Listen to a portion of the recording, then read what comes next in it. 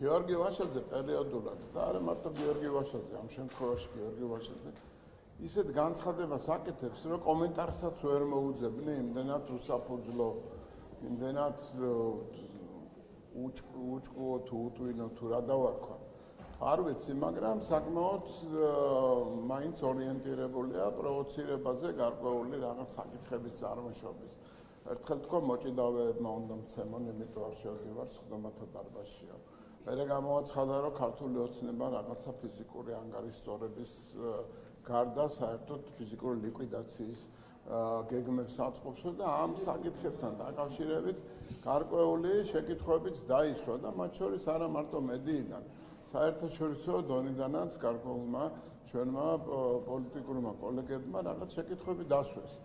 ალბათ მიზანიც ეს არის, რომ გააღვივოს, გააღიზიანოს, გამოიწვიოს რაღაც გარკვეული შეკითხვების დასმა და გარკვეული ბუნდოვანების წარმოშოს ქართულ პოლიტიკასთან დაკავშირებით. ყველაფერი დღესავით ნათელია. ყველაფერი გასაგებია. არსებობს საფრთხე, რეალური საფრთხე, რომ ამ გლობალური ჭიდილის დაპირისპირების ომის აგრესიის ფონზე, ოკუპაციის ფონზე რომ საქართველოს გარკვეული დაზიანება მიიღოს და ჩვენი ამოცანა რომ ამ დაზიანებას გადავჭრით. ეს რეალობა არსებობს და აქ ამ რეალობას გარკვეულ რაღაც ელემენტებს ამატებენ ავანტიურისტები, ისეთი როგორც თქვა გიორგი ვაშაძეა. მაგრამ ლაზარე გრიგორიადისის მამის განცხადების უნდა კითხოთ ის მუხარით გამოიჩინა ერთ-ერთი გოგონასადმი მოლოტოვის კოქტეილს იმიჯება ეს ადამიანი სოციალურ და გრიგორიადისის მამის კომენტარმა არ დააყონა გავსი პათოსით საუბარი გამოვაჩინა და მომხედავთ რამდენი ცით რა ძალიან ბევრი განვითარება რა. ამ ბოლო პერიოდში სხვადასხვა მიზეზით სხვადასხვა გეგმის განხორციელებისათვის ძალიან ბევრი ახალგაზრდასთან მქონდა შეხვედრა. ერთად ვიყავით სამხედრო ბაზაში აქ პარლამენტის ფორმატშიც და ამ გოგონასავით ძალიან ბევრი საუბრობს, მაგრამ არა რაღაც ლოზუნგის და რაღაც მუხარის ენით, არამედ ჩაოლებრივად თავის დამოკიდებულებას გამოხატავენ პროცესის მიმართ და რასაკვირველია ნეგატიური დამოკიდებულება ჭარბობს ახალგაზრდებში აგრესიისა და განსაკუთრებით მოლოტოვის კოქტეილის საკითხთან დაკავშირებით. ნებისმიერი მუხარა, მით უმეტეს უფროსი წლოვანების ადამიანის მხრიდან, ნებისმიერი ადამიანის მხრიდან არის ის, რაც ახასიათებს აი ამ პოლიტიკურ გაერთიანებას, ნაცმოძრაობას და განსაკუთრებით მის აგრესიულ ფრთას, აი ესეთი ზონდერების ფრთას. თუ ამ საკითხთან დაკავშირებით დამატებითი კომენტარებია საჭირო, განსაკუთრებით შეუძლია გამომძიებელს გამოკითხოს, მაგრამ გოგონამ ამის თაობაზე შინაგან საქმეთა სამინისტროს მიმართა და იქიდანაც ალბათ ან გაფრთხილება ან სხვა რაიმე ზომები არ დააყოვნებს ვინაიდან. ეს არის რეალურად მუხარა და მუხარა საერთოდ სისხლის სამართლის დანაშაულის გარკვეული კვალიფიკაციას განეკუთვნება. სანქციების მეტი პაკეტი აქტიურად მიმდინარეობს მუშაობა და ამ დროისთვის არსებობს ასეთი ინფორმაცია რომ პირველ დოკუმენტში სამუშაო დოკუმენტში უბრალოდ კავკასიის ქვეყნებზე არის ჩანაწერი. გაქვს თუ არა მოლოდინი რომ შესაძლოა საქართველოს შეაუღებელი კომპანიებიც რაიმე ფორმით იყოს ნაცნობი სანქციების მეთოდებში. აა მოლოდინი არ არსებობს. საქართველოს არის პირნათელი საერთაშორისო თანამეგობრობის მიმართ ყველა ასპექტით. არ არსებობს საქართველოსში საშუალება გვერდეაო და დაწესებულ სანქციებს საქართველოსში სანქცირებული კომპანიებთან თანამშრომლობის არანაირი საფუძველი არსებობს რომ ვისაუბროთ სანქცირებულ კომპანიებთან თანამშრომლობაზე. თუმცა ბოლო კვლევებით რომელიც საკმაოდ კომპეტენტურმა ორგანიზაციებმა გამოაქვეყნეს დაახლოებით 250 კომპანია ესეთი რომელიც დაკავშირებულია რუსეთის სანქცირებულ კომპანიებთან ან სანქცირებულ ადამიანებთან და ომის დაწყების დღიდან 4 მილიარდამდე ტენდერი მოიგეს ევროპის ქვეყნებში და აი ამ ორგანიზაცია დატლაბი რომელიც ანალიზს აკეთებს, მიუთითებს, რომ 50-60% სანქცირებული კომპანიებისა მისი ანალიზის ქვეშ არ იმყოფება, ანუ გაცილებით მეტი შეიძლება იყოს მათი აქტივობა. ასეთი რეალობა კავკასიაში არ არსებობს, ვინაიდან თვითონ ბაზარით საკმაოდ მცირეა. საქართველოს, სომხეთი და აზერბაიჯანის და გარდა ამისა ეს საკმაოდ სერიოზული დაკვირვების ქვეშაც იმყოფებიან და ამ ქვეყნების პოლიტიკაც არანაირად არ განაპირობებს არ ქმნის წინაპირობას რაიმე ეჭვებისა გარდა ამისა საკმაოდ სერიოზული საჭიროება არსებობს ენერგორესურსების გადაზიდვის დერეფანში, რომელსაც აზერბაიჯანი და საქართველოს უზრუნველყოფენ ევროპისათვის. ასე რომ საკმაოდ ჭიდროა ჩვენ თანამშრომლობა ევროპულ კომპანიებთან და მარტო ევროპულ კომპანიებთან და მე ვფიქრობ ამ საკითხთან დაკავშირებით ჩვენთან არავითარი პრეტენზია არა ერთად გეკითხა. აი შეცდომა რა არის ხო? აი ხედა იგივე საკითხზე აქ ამ დიახ აი გეხოცები რა იტყვე არ უნდა წახვიდე ხო აი მიდი აბა გიყვე ხო.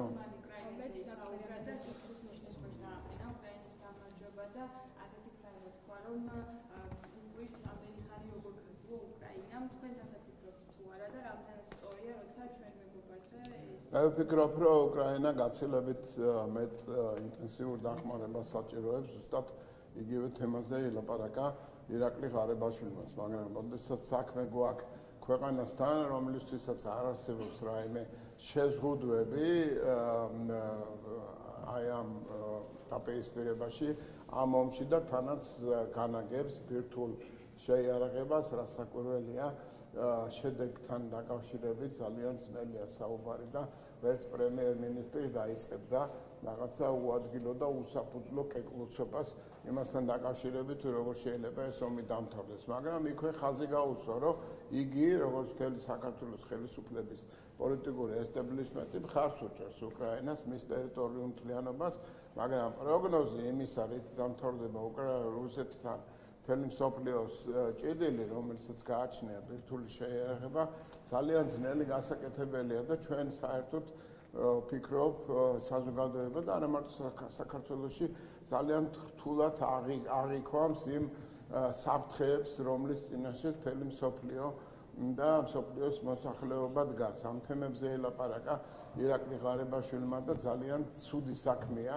ძალიან უღირსი საქმეა, რომ ინტერპრეტაცია და დამახინჯება მოახდინო იმ გულწრფელი საუბრისა, რაზედაც რაც ირაკლი ღარებაშვილს ჩვევია. იხა, იხა, დარჩი, აბა ნუ წახვა, ხა არ ირაკლი ღარებაშვილის განცხადებს გავწერთ. შეიძლება უკრაინასთან დაკავშირებით რასაც იყო საუბარი, მან ასევე თქვა, რომ საქართველოს ძალიან ბევრი რამ გააკეთა უკრაინის მხარდას ეჭერათ და უკრაინელ მეგობრებს შეიძლება სხვა მოლოდინები ჰქონდეთ, რომ მათ საჯაროდ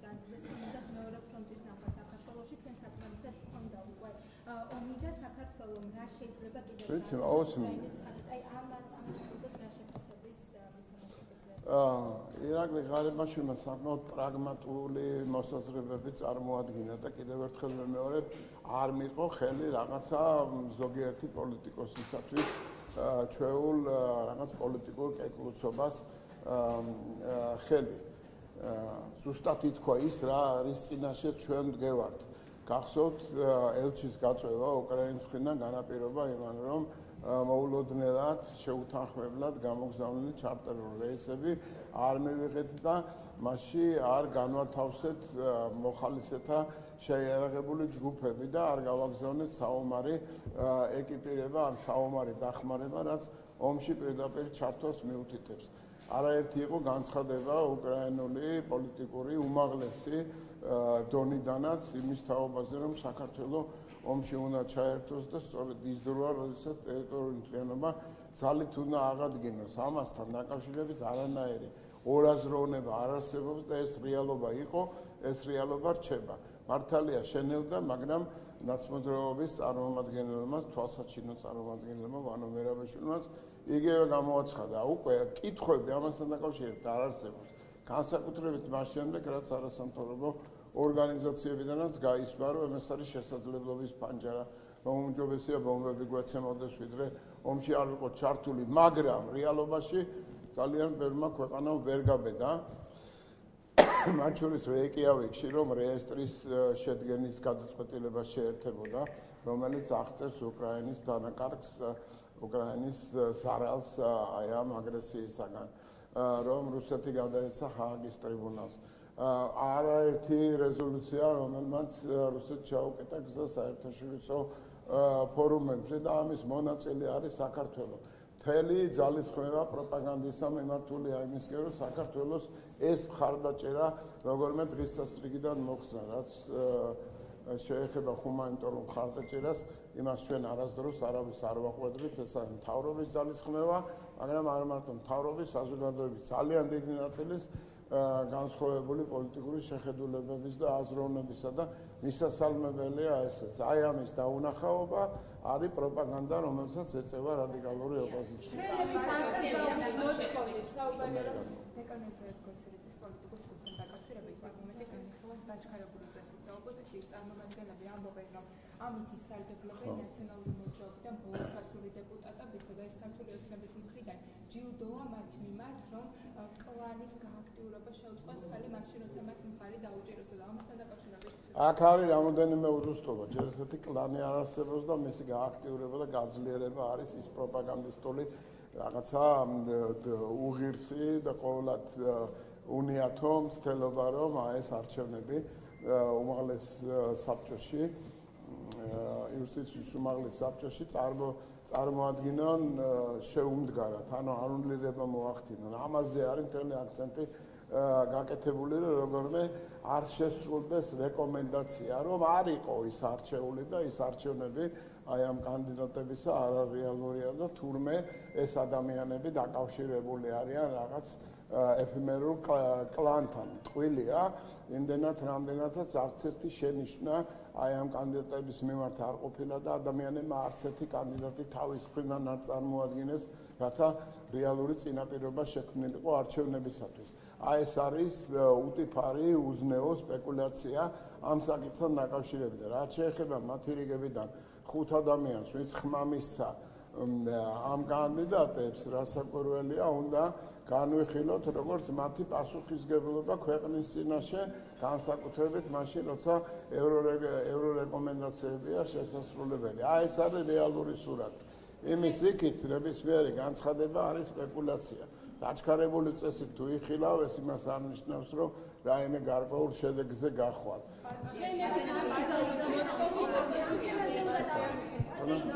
ამ თემაზე დავაბრალდება რა შეეხება იმას ვეთქვი. აი მითხარე? ამ თემაზე არ ხარ.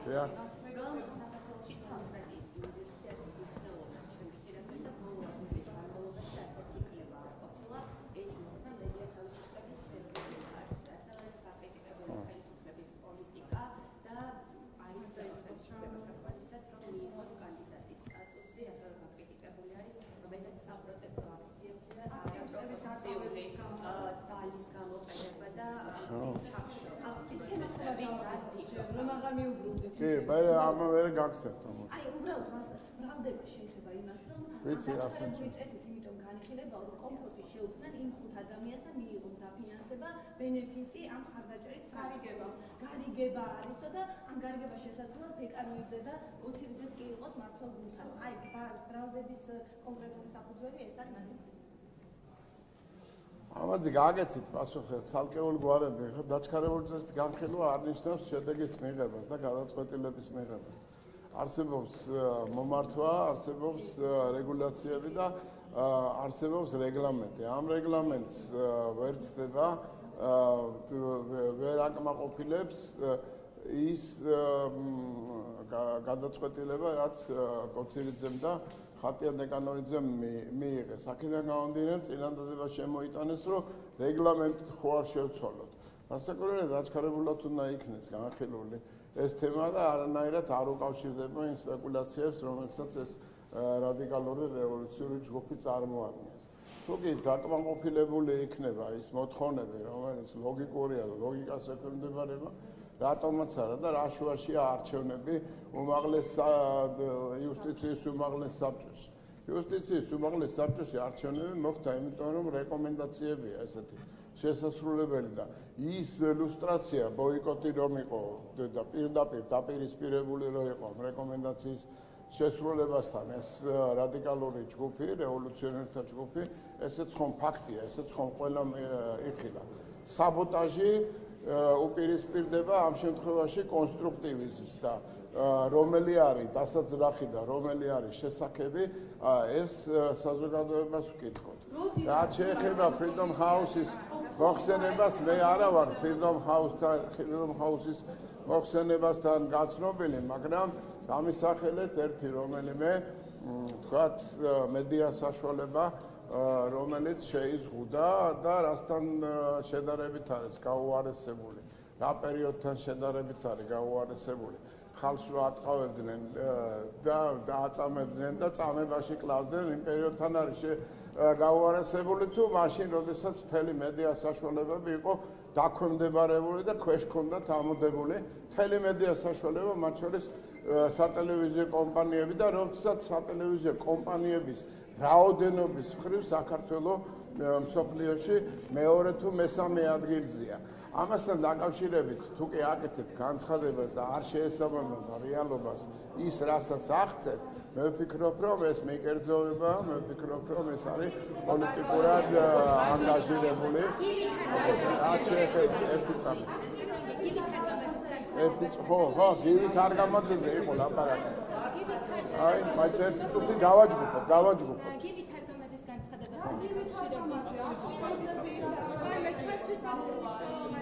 გივით არ გამოწესე, ხო, რაღაც არსებობს, რაღაც ისეთი წარმოქმნა მექნება, რომ არსებობს რაღაცა დიდი პოლიტიკური ჩოდვების დიდი კასრი, სადაც ხედავ რაღაც გარკვეული ტიპები ჩაფლული არიან შეგნით, აი ამ ნაგავში და პერიოდულად თავს ამოყოფენ და ამოსახებენ ხოლმე საზოგადოებას, რომ ისინი ჯერ კიდევ არსებობენ, რადიკალიზმი აუცილებელია, მაგრამ კიდევ ერთხელ თავი დავანებოთ, პიროვნულად გივით არ გამოწეს, ეს არის შინაარსი, არსი. აი ამ რევოლუციური კომიტეტისა ეგ არის ახალგაზრდებს ასწავლე ცეცხლის ანთება მანქანების განუტრიალება და მაგალითს უჩვენებენ რომ ასეთივე ხდება საფრანგეთში, ჰოლანდიაში, ესპანეთში, ევროპულ ქვეყნებში და პირიქით ზუსტად ეს უნდა განავითარონ თავისი საპროტესტო აქციების დროს. მე გეუბნებით და კიდევ გავიმეორებ 1000-ჯერ და კიდევ ბევრჯერ ვიტყვით ალბათ მომავალში სამწუხარო ფაქტს. რომ საზოგადოების დაპირისპირება, საზოგადოებაში საზოგადოებრივი დაპირისპირებები, ზოგადად დაპირისპირებები სისხლისღვრა არის ამოცანა, რომელიც არ შეცვლილა და გევით არგამაძემ კიდე ერთხელ ამოიძახა იმ კასრიდან, რომელიც ვახსენე. რაც შეეხება ხო მორჩით ახლა, ცოტა ხანი გაჩერდი. მე მე გადავწყვეტა. დიახ. მე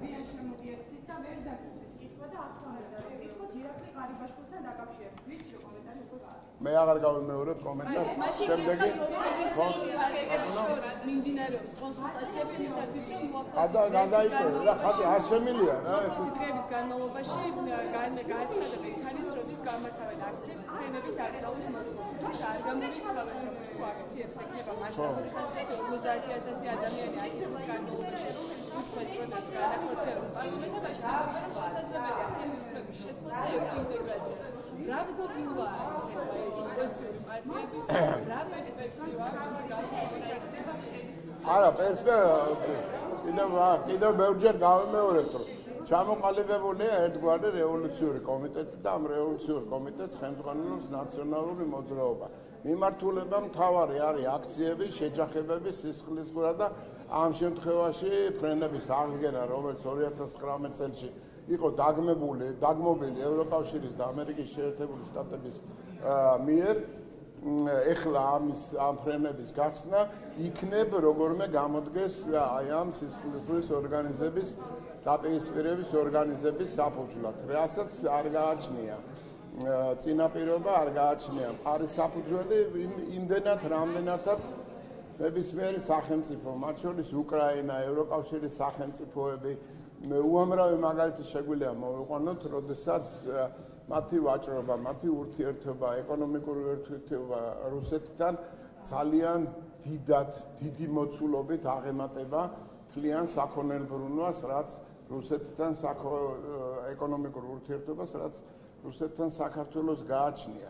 და შედარებები იმდენად ბევრია და იმდენად თვალსაჩინოა, რომ არ ამგონია, რომ საზოგადოება იმდენად დაბრმავდეს, რომ ვერ დაინახოს თუ სად არის საქართველოს ინტერესი და სად არის სტაბილურობის აუცილებლობის ინტერესი. ხათე ვერ გავიმეორებ რა, წელი კომენტარი მქონდა, გადა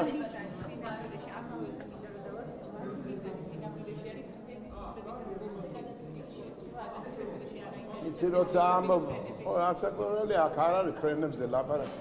ფრენების თემა საერთოდ აი ამ დაპირისპირებების თემა იგივე აი ამ 90 წლის თუ 100 წლის პოზნერის კვერცხებით თემა საქორწილო სუფრებზე შევარდნა ეს ყველაფერი არის ატრიბუტიკა დამახასიათებელი იმ ჯგუფებისათვის რომელიც საქართველოსი არეულობას გეგმავდნენ დღესაც გეგმავენ და მომავალში მათი ინტელექტი ვერანაირად ვერ გაწუდება, ვერ გავა უფრო მაღალ დონეზე, ეს არის ფაქტი.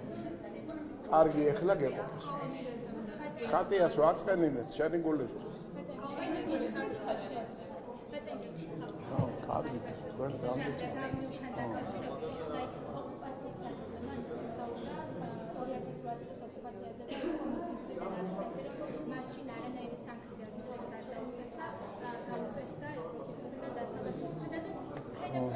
სამწუხაროდ სანქციებს ანუ ეკონომიკურ ნაწილში ჩვენ დაგვაზიანებს სანქციების დაწესება რუსეთისათვის. სანქციების დაწესება თუნდაც ახალად გახსნილი მოხსნილი სანქციების უკან დაბრუნება თან ჩვენი ინიციატივით არათუ დაგვაზიანებს, არამედ ისეთ დარტყმას მოგვაყენებს, რომელსაც საქართველოს წლების განმავლობაში ვერ მოინელებს და ეს შეიძლება კიდევ ფიზიკურ სამხედრო დაპირისპირებაში გადაიზარდოს, ვინაიდან ჩვენმა წინამორბედმა ხელისუფლებმა ყველაფერი გააკეთა იმისათვის, რომ რუსეთს უპირატესობა ქონოდა.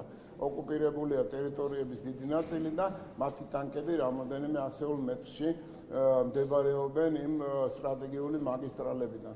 უამრავი ობიექტი მათ ხელშია.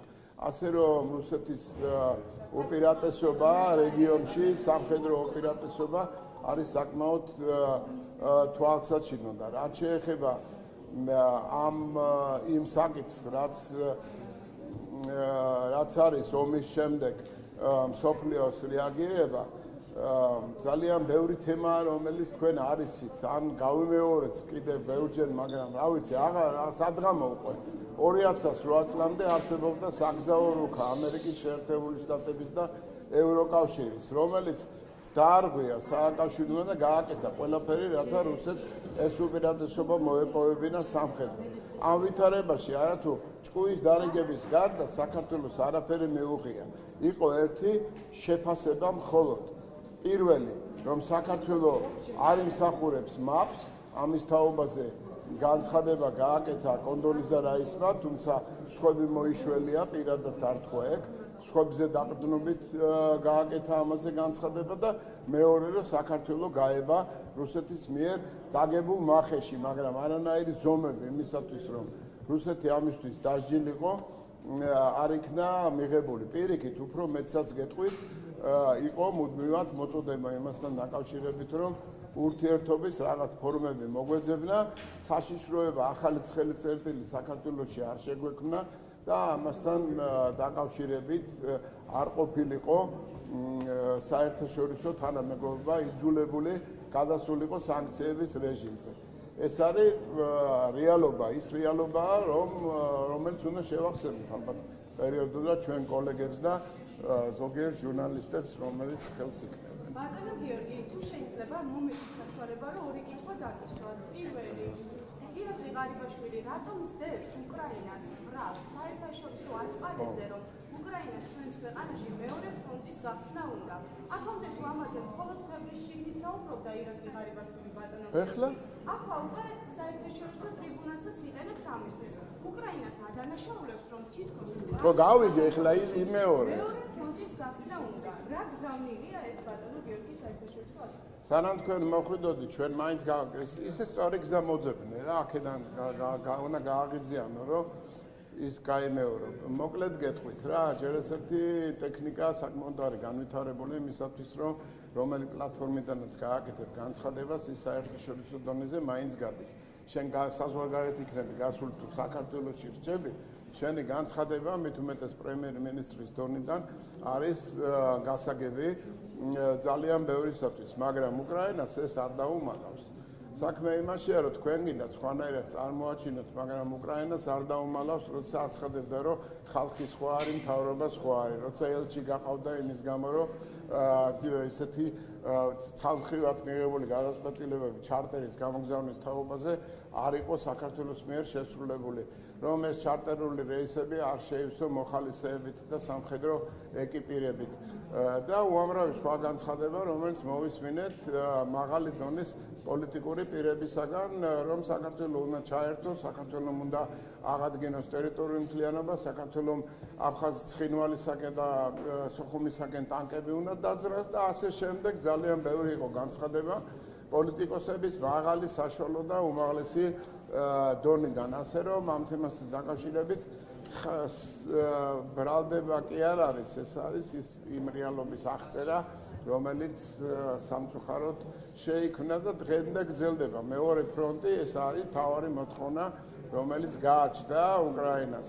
დღეს ამის თაობაზე განცხადებები აღარ კეთდება ვინაიდან საზოგადოებაში ამან ძალიან ცუდი რეაქცია გამოიწვია მაგრამ არასამთავრობო ორგანიზაციების ცალკეული პოლიტიკური ჯგუფების, მათ შორის ვანო მერაბიშვილის განცხადებები მოვიგონოთ და დაუბრუნდეთ იგივე თემას, რომ ეს არის შესაძლებლობების ფანჯარა, რომელიც უნდა გამოვიყენოთ, რომ ჩვენ ჯობია ბომბები გვეცემოდეს თავზე და ასე შემდეგ, ასე შემდეგ, ასე რომ ამ თემაზე თქვენი სპეკულაცია მხოლოდ პოლიტიკური მიზნით არის გამპირობებული და თქვენ არ აწვდით რეალური ინფორმაცია საზოგადოებას ხალხს. ამაში არის თუ არა? ბატონო გიორგი ეს უკვე საერთაშორისო ასპარეზზე არის თუ არა ღარიბაშვილის მხრიდან? გული თამაში უკვე საერთაშორისო თქვენ იცით როგორ ახალ რასაულ ნაკითხად იგივეს მიაჭენებთ რა.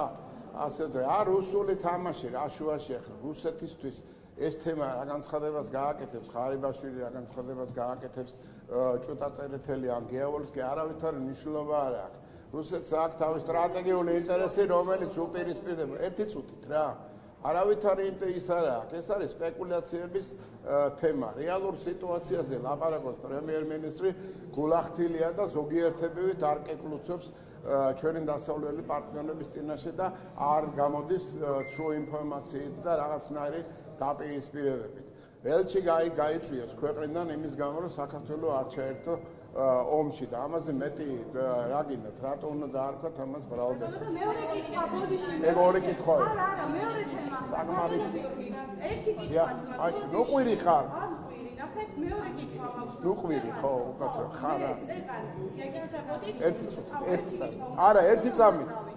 ის რეკლამის შესაძლებლობებთან როგორ კარგი ამის შემდეგ. ბატონო სამინეთები აქვთ თქვა შალაპაკოშის სამინეთო ქონდა ამ ოპოზიციას რაც სამინეთო ექნება კოლუმბიას მანთაიავასთან დაკავშირებით რაც სამინეთო ექნება ის ექნება. მე დაელოდე ცოტა ხანი რატო დატოსთან ჩვენთან ნატოსთან საქართველოს თანამშრომლობის ხარისხი არის ძალიან მაღალი და მინდა კიდევ ერთხელ ხაზი გაუსვა. არ ვიცი მოხდება თუ არა. თქვენ საინფორმაციოში მაგრამ ერთი შეადაროს ნატოს წევრმა ქვეყნებმა ვინ იდგა ესე მძლავრად საერთაშორისო ტერორიზმის წინააღმდეგ ბრძოლაში და ვინ დგას ვინ რამდენი ადამიანი შესწირა და ის ოჯახი იმ ოჯახებს მოკითხონ რომლებიც რომელთა შვილები ახლობლები გაემართნენ აი ამ ბრძოლის ველზე და მყარად იდგნენ თავისი შეგნებით, თავისი სახელმწიფოს დაცვის ინტერესებიდან გამომდინარე. საერთაშორისო უსაფრთხოებას რამდენი ქვეყანა ემსახურა ისე გულწრფელად და ისე მძლავრად, როგორც საქართველო. ამ თემაზეა ლაპარაკი და ჩვენ არავისგან არა არა თუ არა თუ რაიმე პატარა შენიშვნა, არამედ ძალიან დიდი დაფასება გვეკუთვნის უმეტეს ძალიან დიდი ტყუილი გაავრცელეს ზოგიერთმა მედია საშუალებებმა, რომ თითქოს ნატოსთან ჩვენი სამხედრო თვლები არის გადადებული თუ ჩაშლილი.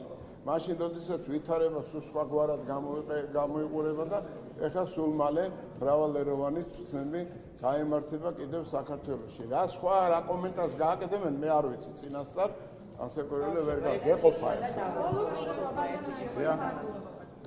ეს. ახლა ორი. აა ერაკლი მოვიდა. როდიდან ზრუნავთ ოპოზიციაზე? დაჩქარებული წესით რომ ითვალისწინებთ ოპოზიციის რეგლამენტში შესაძლებლობებს, აი, როდის გახდა თქვენი საზრუნავი ოპოზიცია და ის რომ ოპოზიციამ გამოიყენა საპარლამენტო ბერკეტები, საგამოძიებო კომისიას არ აკვნევინებთ და რა ვიცი, ბევრ რამეში უშლით ხელს და აი ხლა რატო გაგიჩნდათ სურვილი რომ პოლიტიკური ჯგუფის შექმნის საშუალება მიცეთ ხატია დეკანეიძეს? როდის თქვენ რა იცით რომ უნდა მივცეთ? დაჩქარებული წესით განხილვა არ არ არნაირად არ განაპირობებს შედეგს. ნახოთ, უნდა იყოს რეგლამენტის ლოგიკის შესაბამისი გადაწყვეტილება მიღებული და ამასთან დაკავშირებით ერთხელ და სამუდამოდ ყველამ უნდა გაიგოს. უნდა გააკეთოს პოლიტიკურმა ჯგუფმა, მეტუმეტეს მართველი ჯგუფი თუ არის, ყველაფერი იმისათვის, რომ თავისი მხრიდან ეცადოს, რომ შეინარჩუნოს სტაბილურობა და რაღაცნაირად მოახერხოთ დეპოლარიზაციის პროცესის განვითარება. მაგრამ ეს კიდევ ერთხელ ვიმეორებ არ ნიშნავს იმას, რომ მათ შემოტანილი წინადადებები იქნება მიღებული. გარდა ამისა არსებობს ნებისმიერი პოლიტიკოსის მცდელობა, ისე არიან დაბუნინგებული, კონკრეტულ გვარს არ დავასახელებ, გვარებს უფრო სწორედ, რომ ვინმე აქაო და ვინმე რამე ხელისუფლებასთან თანამშრომლობა არ დაგვაბრალოსო, აკეთებენ ერთი მეორეზე უფრო შემაშფოთებელ განცხადებებს, რომელიც გამოირჩევა უტიფრობით, უზუსტობით და იმ პროპაგანდით, რომელიც ახასიათებს სამწუხაროდ ყოველგვარ ინტელექტუალურ რესურს გამოცლილ პოლიტიკურ სუბიექტებს. სამწუხაროა ეს რეალობა, მაგრამ არსებობს და მედია საშუალებები ყავთ კიდევ რომელთაც ამას ყველაფერს ცდილობენ ახლა მოვიდა. ხა იგივე შეკითხვა. ახალი რა უნდა ხო? როგორ მაინტერესებს? შენ აი ესე იცი რა, აი დიდი ხანია. ხო, დიდი ხანია მელოდება და ორი ძებულია, მე ხე კატი. ხო. ბოლო კითხვა, ბოლო კითხვა. დასვი კითხვა, დასვი. ხო, არა მე მივდივარ. ხოთ ვერ ხდება ოპოზიციასთან შეთანხმება და ამის ფონზე გაზე? ოპოზიციასთან შეთანხმება ვერ ხდება. რასთან? ოპოზიციის საბჭოსთან ოპოზიციის საბჭოსთან დაკავშირებით და ამის ფონზე როგორ უნდა მოხდეს ამ საკითხის გადაწყვეტა? ამ საკითხის გადაწყვეტას არ ველოდები მე პირადად, ჩემი კოლეგები ბევრნი არიან ამის იზიარებენ ჩემ მოსაზრებას, ვინაიდან ვინმეს არჩევა რეკომენდაციის შესრულება დღის წესრიგში არ დგას. პირიქით ხო ნახეთ რამხელა შეშფოთება და რამხელა სკანდალი გამოიწვია იმან რომ მოახერხეთ და შეიქმნა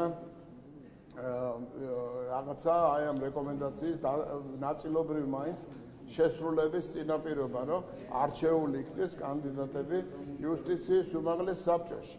და როგორი შეშფოთება და როგორი სკანდალი და როგორი ტრაგედია მოხდა მას მერე, რაც შევძელით და მივიღეთ კანონი არჩევნების შესახებ, სადაც ელექტრონული არჩევნებია გადაწყვეტილი უკვე თემა და პროპორციული არჩევნები. ეს არის ძალიან დიდი ტრაგედია, რომელსაც მე არ ამგონია რომ გადაიტანოს ნაცმოძრაობამ და ნაცმოძრაობის გარშემო სატელიტებმა და ყველაფერს გააკეთებენ იმისათვის, რომ სხვა რეკომენდაციები არ შესრულდეს. ხელიდან გაექცათ სახალხო დამცველის არჩევის თემა. ეხლა ცდილობენ როგორმე CSKO-ს თემა არ იქნეს გადაწყვეტილი და აი ამ არჩევნებს, რომელსაც პრაქტიკულად ვერანაირ გავლენას ვერ მოახდენს, ეს CSKO-ს თავმჯდომარე, კინ ქართული ოცნებიდან იყოს, კინ ნაცმოძრაობიდან. გარდა იმისა, რომ ნაცმოძრაობის კანდიდატ შეუულია შეაფერხოს საერთოდ მოშალოს CSKO-ს საქმიანობა. სხვა ვერანაირ გავლენას არჩევნების შედეგებზე აი ამ პირობებში ვერ მოახდენს. ეს არის რამოდენიმე მაგალითი იმისა, პასუხი თქვენი შეკითხვაზე, რა სურს რადიკალურ ოპოზიციას. დავიშალეთ ეხლა და ირაკლის დაუწყოთ. პოპულარობაზე არ არის რა, პრინციპზე არიან ერთმანეთი.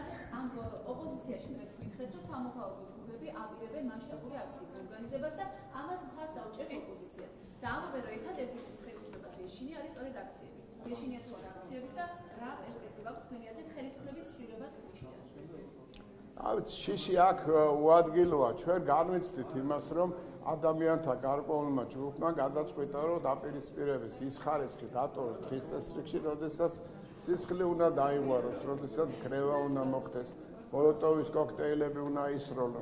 განსაკუთრებით ეს შემაშფოთებელია. გინდ შიში დაარქვე ამას, გინდ შენი საკუთარი ქვეყნისათვის დარდი დაარქვე. მაგრამ ფაქტია რომ ადამიანებმა ჭკუა ვერ ისწავლეს მოუწოდებენ ახალგაზრდებს მათ შორის ჩაერთონ ამ აგრესიულ ქმედებებში დააზიანონ ქვეყანა დესტაბილიზაცია მოახდინონ და ხოლო და ამ გზით და არა არჩევნებით აქვთ იმედი რომ ხელისუფლებაში მოვლენ. მადლობა დიდი